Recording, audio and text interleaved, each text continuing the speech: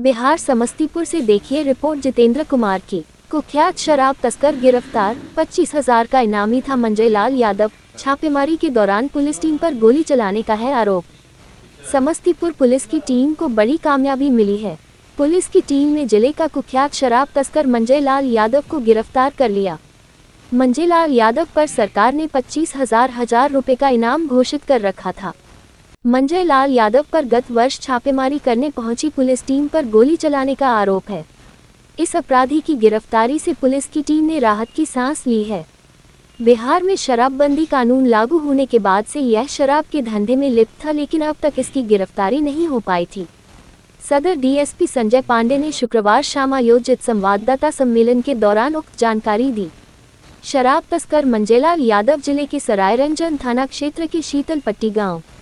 का रहने वाला है, सदर डीएसपी ने बताया कि इस अपराधी को अब तक गिरफ़्तार नहीं होने के पीछे का कारण रहा कि यह अपने पास एक मोबाइल भी नहीं रखता था। कारण इसकी गिरफ्तारी काफ़ी कठिन थी, लेकिन मानवीय सूचना संग्रह के आधार पर इसे गिरफ़्तार करने में जिला पुलिस की टीम ने सफलता पाए है। सदर डीएसपी ने बताया कि इस अपराधी पर सराय रंजन के अलावे मुसरी घरारी ताजपुर, उजियारपुर दल सिंह सराय आदि थाना क्षेत्र में शराब के अलावा लूट और डकैती का मामला दर्ज है। अलावा लूट और डकैती का मामला दर्ज है। पटना की उत्पाद टीम पर की थी फायरिंग, सदर डीएसपी ने बताया कि इस अपराधी ने गत वर्ष 8 दिसंबर को ज़िले के सराय रंजन थाना क्षेत्र में गुप्त सूचना के आधार पर छापेमारी करने पहुँची पटना उत्पाद विभाग की टीम पर मजय व उसके साथियों ने गोली चलाई थी। हालाँकि गोलीबारी की इस घटना में किसी के हताहत होने की बात सामने नहीं आई थी। इस घटना के बाद से ही यह फरार चल रहा था। हाल ही में इसके घर की कुर्की जब्ती भी कराई गई थी। इस गोलीबारी की घटना में मंजय समेत 12 लोगों को नामजद किया गया था।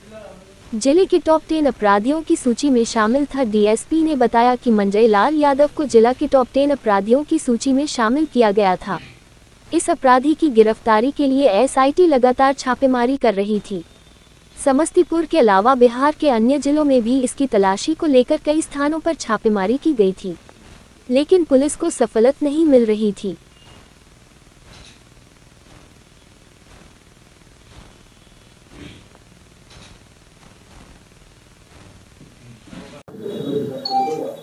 बिहार में जब पूर्ण शराबबंदी हुई थी, उसके पूर्व मंजेलाल, उर्फ़ मंजेलाल राय शराब के दुकान पर सेल्समैन का काम करता था।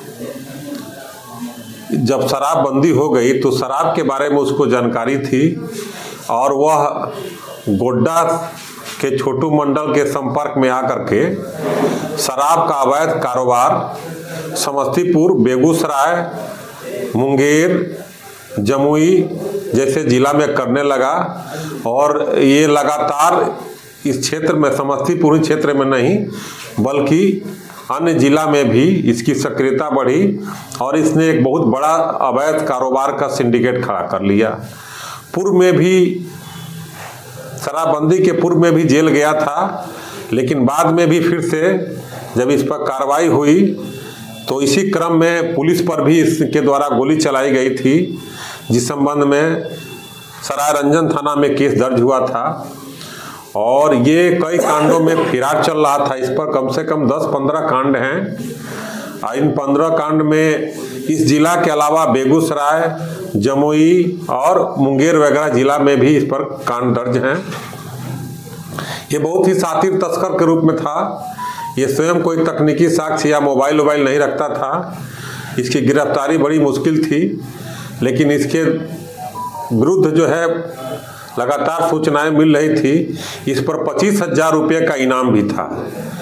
पच्चीस हज़ार रुपये का इनामी ये हमारा, ये जिला का इनामी अभियुक्त था, फिरारा अभियुक्त था। इसको सूचना संग्रह कर करके गिरफ़्तार किया गया है, जिसमें सराय रंजन थाना के रविकांत कुमार, डीआईयू के मुकेश कुमार और मुसरी घाई थाना के पंकज कुमार की अहम भूमिका रही है।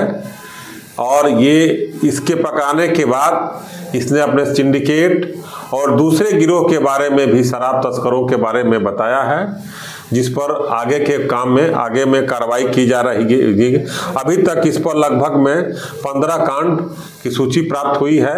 अन्य जिला से भी इसके बारे में जानकारी ली जा रही है और इसको रिमांड करने का प्रयास किया जाएगा। कहाँ कहाँ से गिरफ़्तार ये सराय रंजन थाना क्षेत्र में इसको गिरफ़्तार किया गया है।